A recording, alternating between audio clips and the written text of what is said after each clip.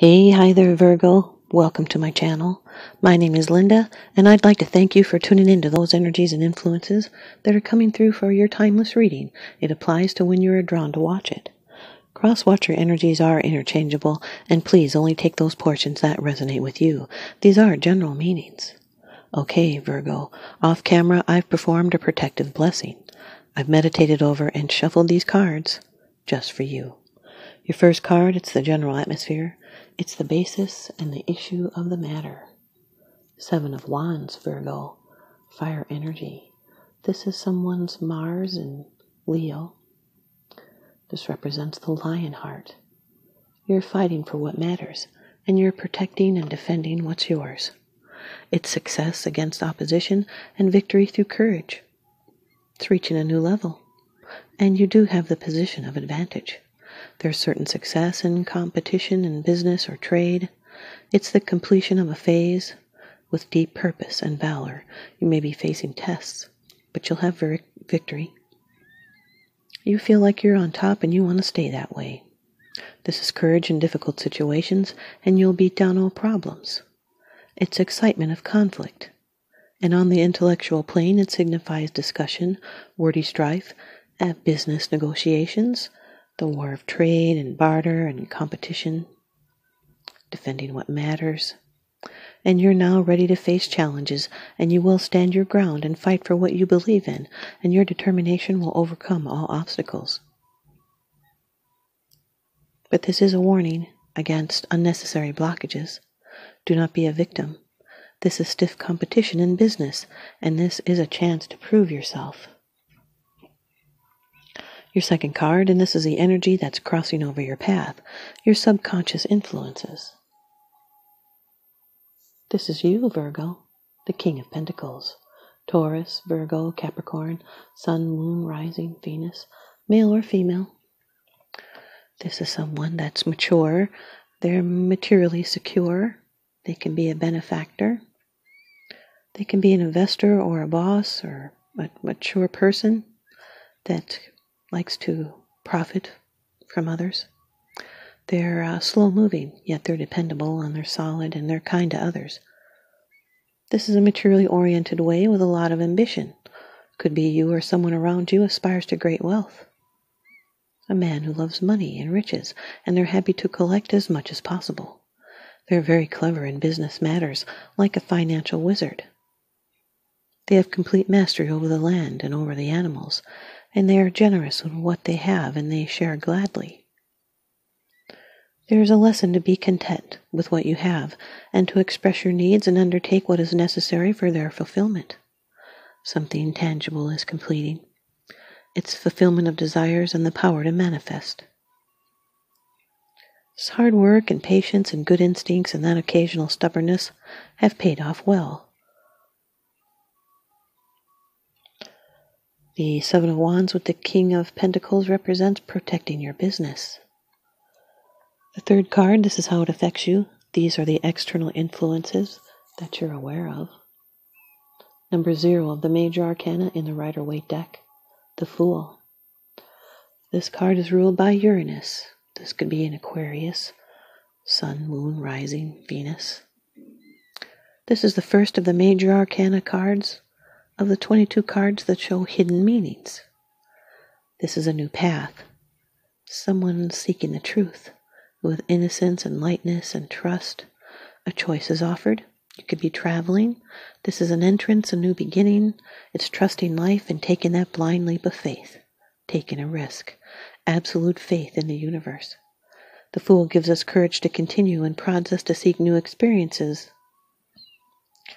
And if you follow your instincts, You'll be provided with guidance. This is being on the edge of a very important new beginning and trusting where the universe is taking you. It's an embarking on a fresh way of life, a physical journey, moving, starting a new job, or getting married or divorced.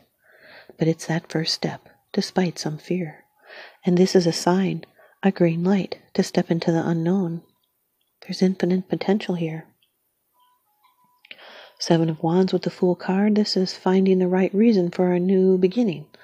Someone could be lecturing.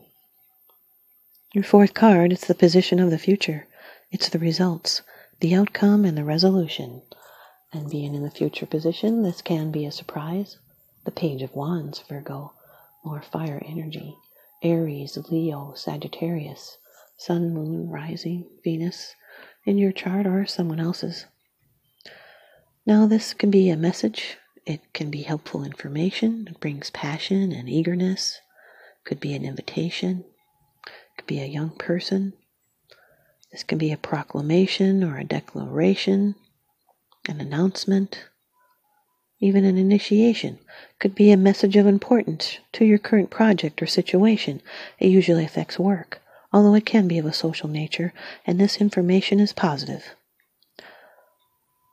Now, the Page of Wands is standing at the threshold of a newly inspired direction, and we always feel this page's influence when we're drawn to something that can accelerate our personal growth and enable us to be and express more of who we are. This is the Fool's little brother, someone that's daring and full of passion.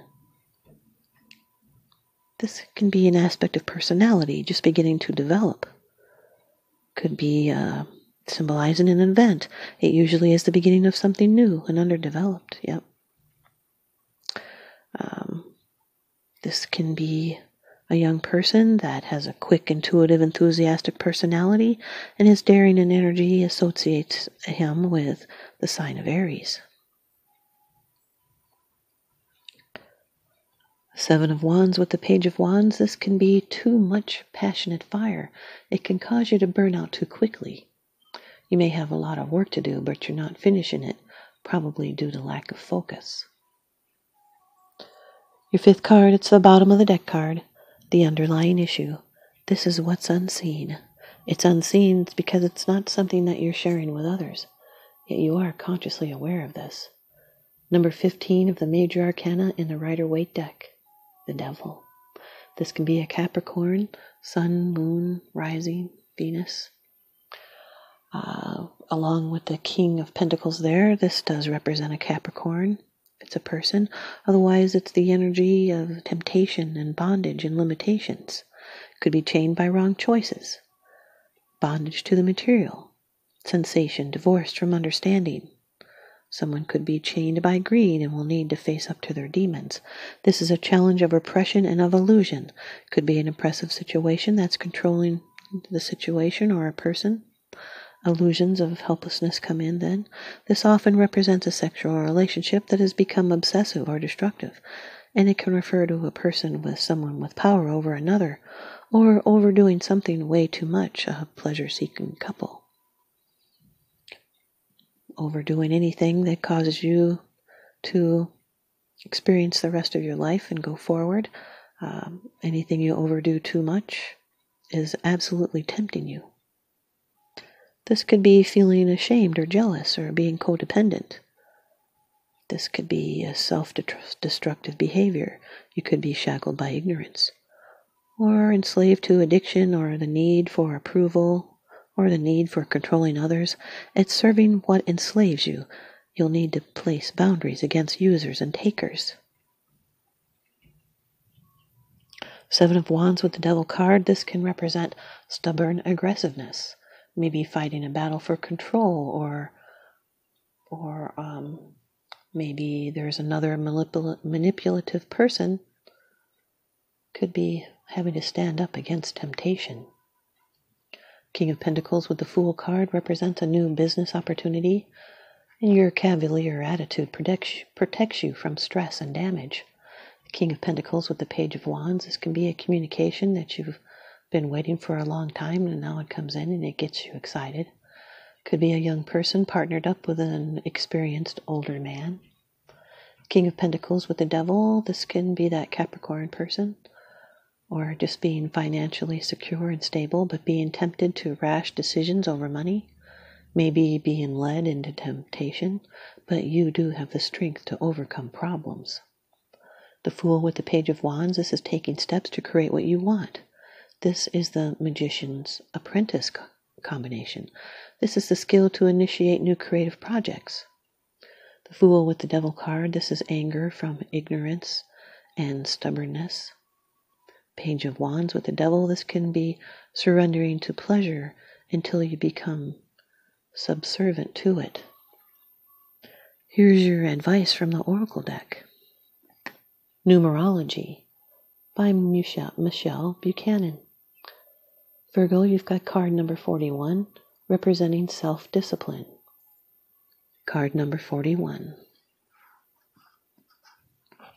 This card indicates a need for self discipline, motivation, and action to improve your quality of life. By drawing this card, you are being reminded that you need to meet the universe halfway because your dreams won't manifest by themselves. This is a time to clarify your goals and to plan and prioritize your ideas and actions. Then take the mental and emotional and physical action needed to make your dreams come true. You are being encouraged to rein in any thoughts and emotions that are contrary to what you're trying to attract. Rather than letting your doubts and worries consume you, you must have the strength and the willpower to focus predominantly on your dreams. You can attain those goals with a strong, disciplined mind when you surrender the outcome to the divine. In order to improve your current situation, you are being asked to adjust to and harmonize with the natural rhythm and cycles of your life, cycles that are encouraging you to be motivated and strong. This is where you need to play your part. The universe will provide the opportunities, but you need to see them through. There is an affirmation to this card, and it is With self discipline and action, I make my dreams come true. Thanks, you guys, Virgo. I hope you stay tuned in and leave me a comment or a thumbs up. And please subscribe. Now remember, what goes around comes around. So I'm sending you out love and light and blessings. Thanks for watching.